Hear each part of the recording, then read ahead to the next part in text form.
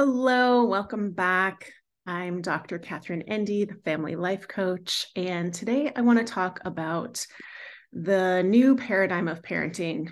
And it's something you've probably heard me talk about um, before, but the new paradigm of parenting really acknowledges development, children's emotions, children's emotional needs, and what I want to say about this is let's talk for a second about the old paradigm of parenting.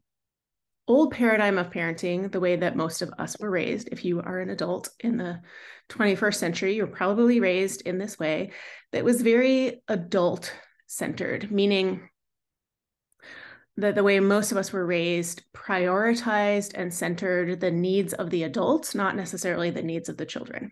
That doesn't mean that you were totally neglected or that your you know desires were never considered. But so often when we as children had difficulty upset having a hard time the thing that took precedence was that that was inconvenient for the adults or that that was somehow problematic for the adults. In fact in a lot of the work that i've done um, on the research side of my career we we look at what's called challenging behavior and we talk in our research about for whom is the behavior a challenge?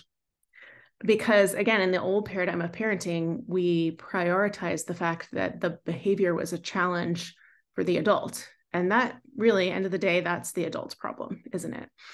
Um, so in the new paradigm of parenting we acknowledge that the child's needs, wishes, and desires are just as valid and as just as valid and important as the adults. And in some cases more so, right? Because they're vulnerable, they're young, they're developing, they they need our protection and our uh, support, right?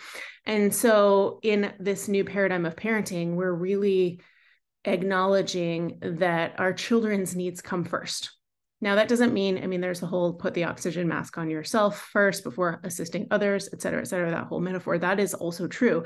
However, we don't dismiss a child's upset just because it's inconvenient for us. We don't say, too bad for you, just because we have something else we'd rather be doing or we don't have, can't make time or space for our children.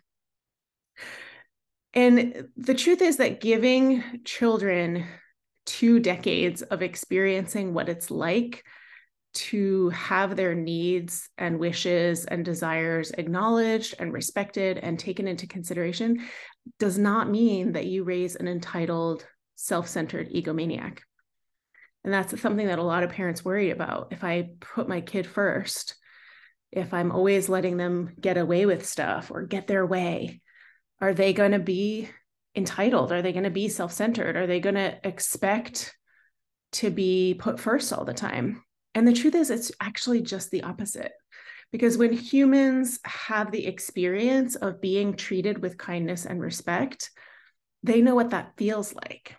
And they are more likely to treat others that way because they know what that feels like. Because they they've internalized that experience and then they're able to share that experience then they're able to give that to others. Children young children are inherently egocentric. That is a developmental fact. They are cognitively incapable of taking others needs into consideration most of the time. So when they seem to be melting down at a time that's inconvenient for you is because it's not about you right? It's not about your needs. It's actually they are only able to think about themselves. But as adults hopefully we are not that way. Hopefully we can give people positive experiences help them meet their needs do something kind put others before ourselves because we know on some level what it feels like to receive that kind of care and attention. Maybe you didn't get a lot of that growing up. Maybe you did. But we're not doing this because we demand, you know, not because adults demanded that we be respectful. In other words, we learn on an emotional level, on a sensory level, what it feels like to be supported and respected and treated kindly. And that's how we learn it. We don't learn it by it being demanded of us before we're developmentally ready to do it.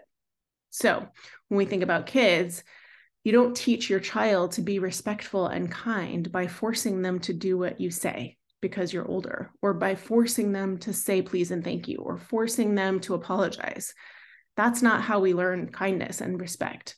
We teach children to be respectful and kind by allowing them to experience what it feels like to receive respect and kindness.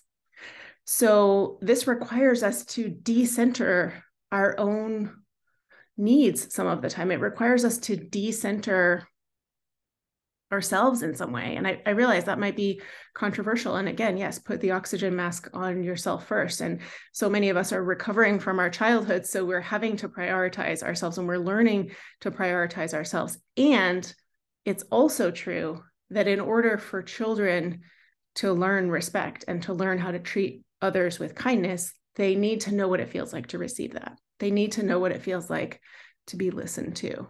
They need to know what it feels like to have their emotions validated. They need to know what it feels like to have someone just sit with them and feel felt, as Dan Siegel says, to feel that emotional resonance. It's the internalized experience of feeling what that feels like that teaches another person to be respectful, to be kind, to be a good listener. So, this is a new way of thinking about things. This is the new paradigm. This is a new way of interacting with children. In the past, respect was demanded because I'm a grown up, you're a kid, you have to respect me. This is a little bit of a different way of thinking about it, recognizing that respect is mutual and that the way children learn to respect others is by feeling respected. So I hope that helps you to think about things a little bit differently. Let me know in the comments if you have questions and see you next time.